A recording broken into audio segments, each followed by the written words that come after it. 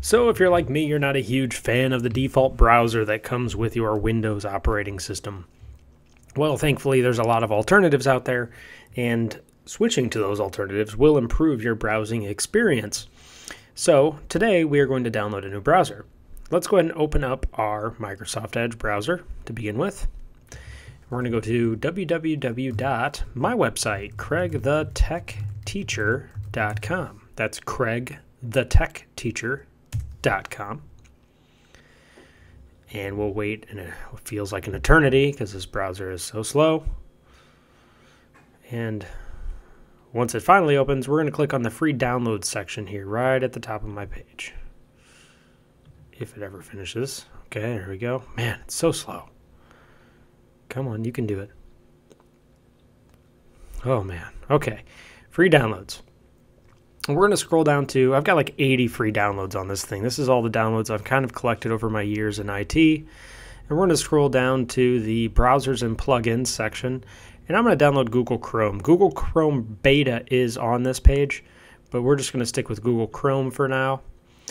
And this will open up my download page. And then we're going to click Download Google Chrome Fast Free Web Browser. Wow, it's so slow. Come on. So slow. Okay, so I'm going to go ahead and click Download Chrome and click Accept and Install. And we'll click Save. And I'm going to wait for it to finish. Okay, so it finished downloading. I'm going to click Run. And it's going to prompt me with security warnings. I'm going to say yes. On your marks. Connecting the internet, downloading. Okay, now it's downloading Chrome for me. And I'm going to probably skip right past this in the video so you don't have to sit here and wait two minutes for it to download. Once the download's complete, it'll actually automatically begin the installation of Google Chrome, which is pretty great. If you have like a YouTube account or a Google account, you can actually log into your Google Chrome browser and it'll synchronize all of your history and your uh, passwords and everything that's been saved to it. See how my browser bar up here at the top is at the top. It's because I logged in uh, before. Now, one thing that is important is we'll want to set this as the default. So there's a button right here at the top that says default, and Windows 10 makes this difficult.